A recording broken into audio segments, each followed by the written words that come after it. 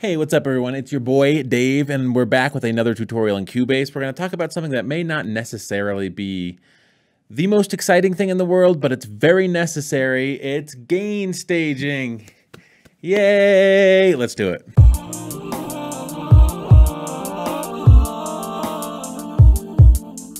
So gain staging is one of the first things you should do to any mix. And I've just chosen some samples from the Media Bay at random here, but I have this little two bar loop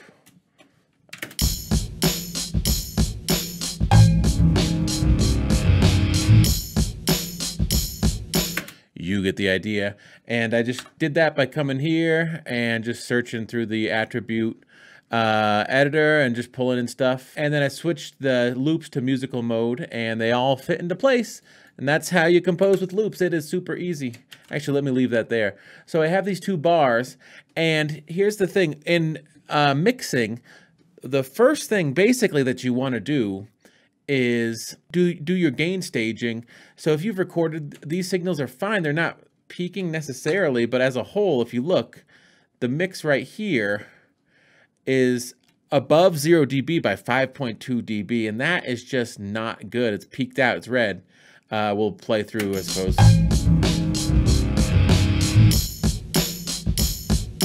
Oh, so yeah, I mean, uh, that's peaking, that's peaking, that's peaking. And here's the thing. Uh, I mean, I don't think that you should really be recording this hot. For some reason, they give you the loops this hot. Uh, but before you start any mix, you should give yourself ample headroom so you can add and subtract.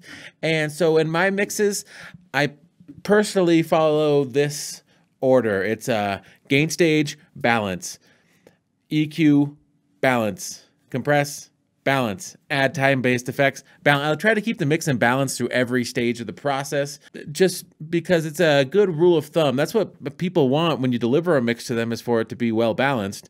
And if you start with it balanced, um, that, that's always a good starting point. But um, if you're peaking out here, how are you going to add anything to this drum loop? So we'll solo it it's peaking out at above 1.2 dB. I mean, if I want to add frequency and boost 2K or something to make the snare snappier, it's going to peak out even harder. Uh, so that's really a non-starter. And the way that you combat this inability to have headroom is with gain staging. And the interesting thing is I opened this from an empty project in Cubase and they don't have this rack by default. Now, if you go to your channel settings, you'll see it here, pre. Uh, this is actually a rack, and on all of my templates, I have the pre-rack enabled. Uh, I love the pre-rack. I use it all the time. There's a low pass and high pass filter, and there's gain staging, and you, you can switch phase, especially if you're recording bass through an amp and DI. You can check your phase by switching at 180.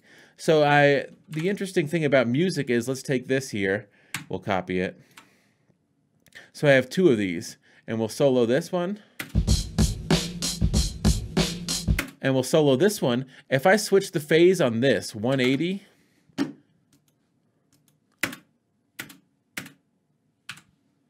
you'll notice you don't hear anything because they're exactly out of phase. And that's, uh, in a nutshell, how, we'll just delete this, uh, how noise canceling headphones work. They have microphones that hear the ambient noise from the outside and they reverse phase and they try to eliminate that ambient noise. Fun fact.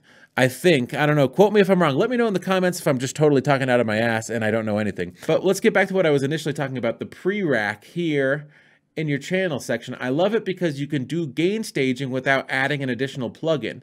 And even if, and we'll go back to this example here, um, if you notice the strip is actually after the inserts, but the pre will stay ahead. So if I open up this frequency,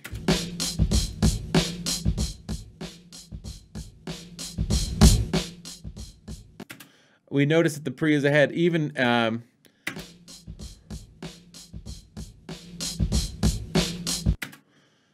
So the pre will always be before any inserts and really before anything else in the strip.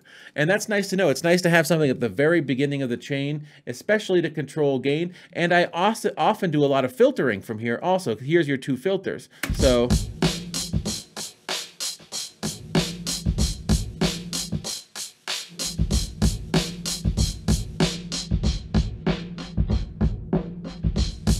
So it's good to know that you have two filters and gain control and a phase reverse uh, here on the on the channel settings or uh, here in the mix console if you enable the pre-rack.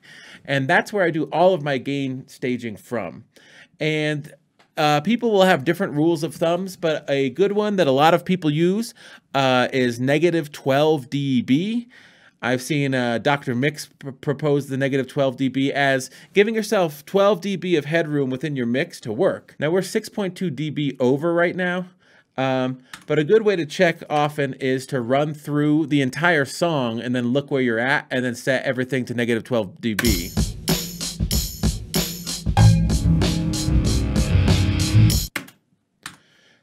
And so uh, we want this to be 12.8 lower. So we'll just lower this. And this is negative 0.5, so we want that to be 11.5 lower. This is just quick back of the envelope math.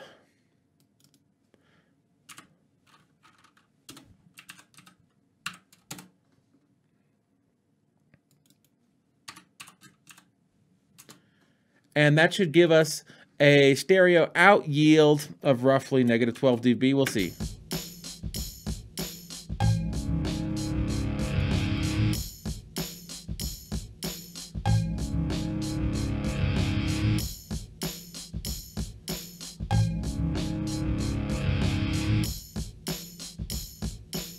So my math wasn't totally right, but if you look, um, everything's peaking out at negative 12, and then the stereo master, because things play together, is peaking out at negative 8. But that'll give me on the stereo bus 8 dB of headroom to add uh, plugins. Uh, I mean, on the channels, on your stem, on your group stems, and on your master bus, you'll have 8 dB more of headroom to work with. And this way, now if I choose to make that snare a little more snappy,